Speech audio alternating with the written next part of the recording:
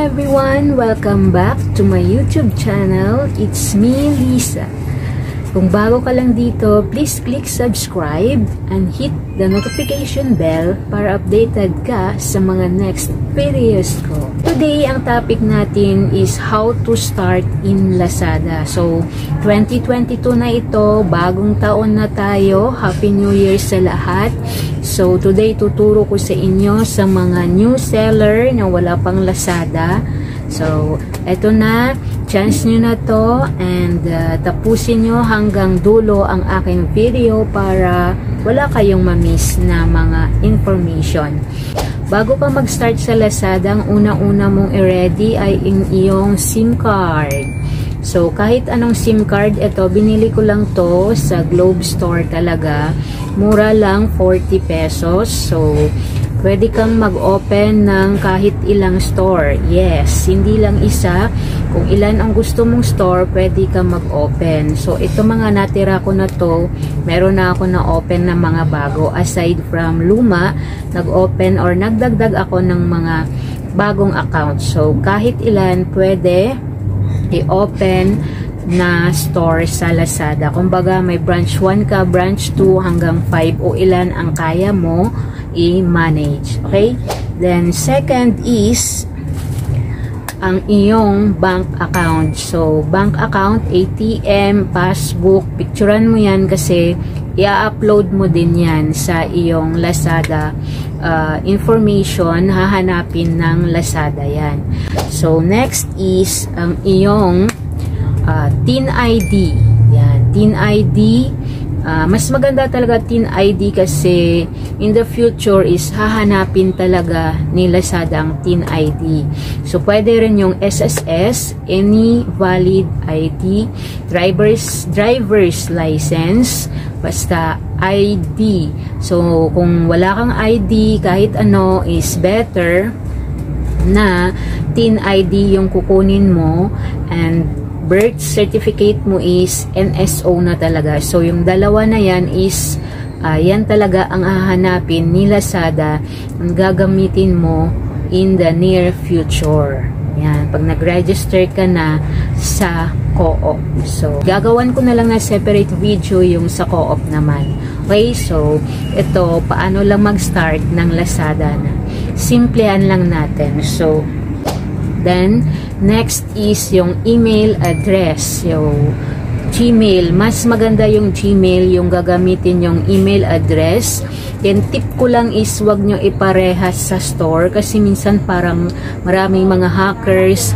Halimbawa, uh, same sa store mo pero dagdagan mo pa para minsan nahahack para hindi na na mahack pagparehas kasi yung email address mo sa store mo tapos sa pangalan mo pa is minsan meron may tendency na ma-hack nila. So meron din yan nag-email sa akin halimbawa yung store ko then parehas sa email ko. Nababasa ko na nga doon pero iba yung email ko sa store ko.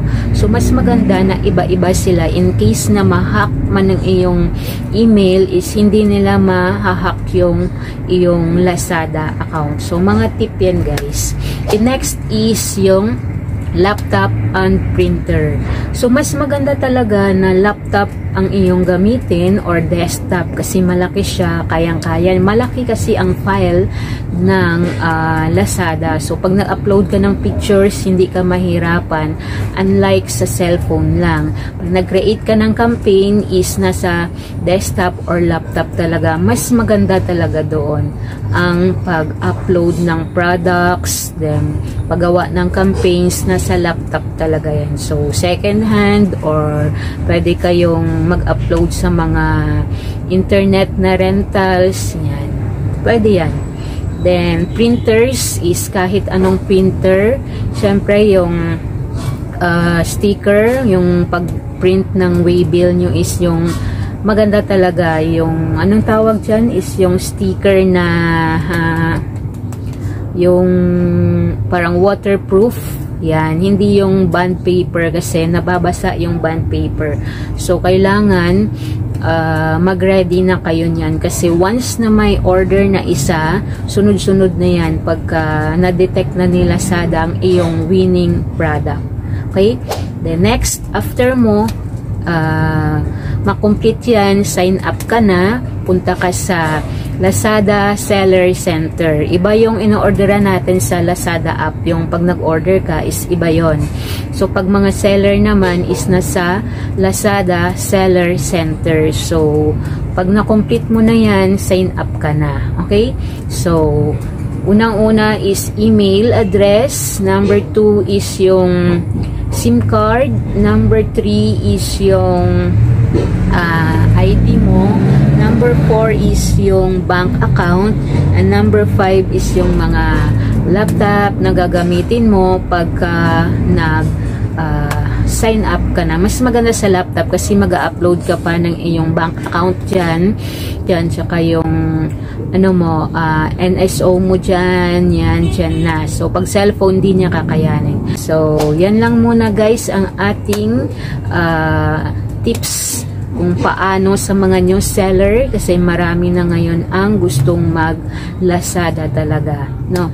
Lalong lalo na sa mga reseller ko sa Mura Divisoria is ito na ang iyong pagkakataon uh, mag-open ka na ng account ngayon. Then post mo ang aming products.